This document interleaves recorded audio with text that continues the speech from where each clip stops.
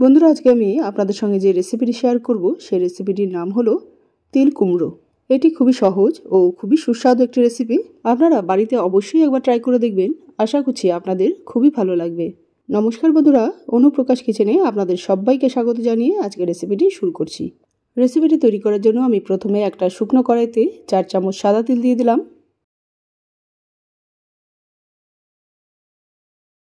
তারপর এই তিলগুলোকে এই শুকনো খোলায় ভেজে নেব।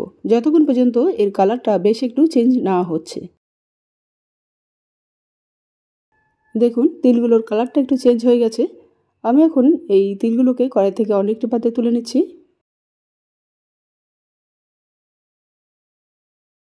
তারপর এই তিলগুলোকে একটা মিক্সার জারের মধ্যে ঢেলে দিলাম।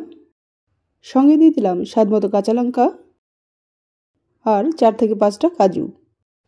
এবার এর মধ্যে একটু জল দিয়ে মিহি করে পেস্ট করে নেব। দেখুন, মিহি করে পেস্ট করে নিয়েছি।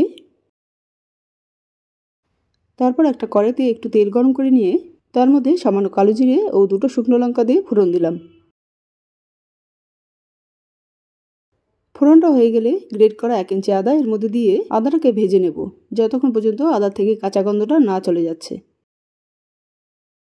আদা থেকে কাঁচা গন্ধটা চলে গেলে আমি এর মধ্যে দিয়ে দিলাম এইরকম ছোট ছোট ডুমো করে কেটে নেওয়া কিছু পরিমাণ কুমড়ো। আর এর মধ্যে দিয়ে দিলাম স্বাদ মতো নুন ও পরিমাণ মতো হলুদ। তারপরে এই সমস্ত উপকরণগুলো একসঙ্গে ভালো করে মিক্স করে নিয়ে একটা ঢাকনা দিয়ে ঢেকে কুমড়োগুলোকে মিডিয়াম ভেজে নেব। আর কিছুক্ষণ বাদে বাদে এই ঢাকনাটা খুলে একটু নাড়াচাড়া করে নিতে হবে যাতে কুমড়োগুলো কড়াইয়ের নিচে থেকে ধরে না যায়। কুমড়োগুলো এইরকম মিডিয়াম ভাজা হলে এর মধ্যে দিয়ে দিলাম পেস্ট করা তিল, কাজু আর কাঁচা লঙ্কা। আর এই বাটির মধ্যে যে একটু মশলা লেগে আছে, তা ধুয়ে জলটা এর মধ্যে দিয়ে দিলাম। এবার এই সমস্ত উপকরণগুলো একসঙ্গে ভালো করে মিক্স করে নিয়ে কিছুক্ষণ ধরে রান্না করে নেব। যতক্ষণ পর্যন্ত এই মশলাটা বেশ একটু শুকনো শুকনো না হয়ে যাচ্ছে। মশলাটা এরকম শুকনো শুকনো হয়ে গেলে এর মধ্যে হাফ বাটির মতো জল দিয়ে দিলাম।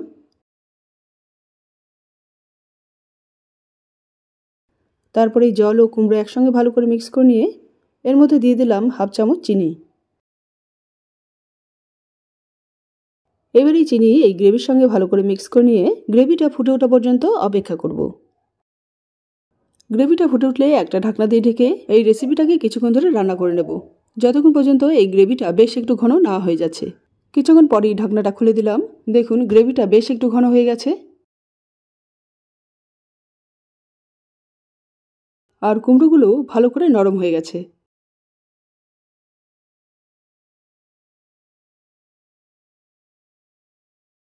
এই অবস্থায় আমি এর মধ্যে দিয়ে দিলাম এক মুঠো কুচনো ধনে পাতা এবার এই ধনে পাতা এই রেসিপির সঙ্গে ভালো করে মিক্স করে নেব।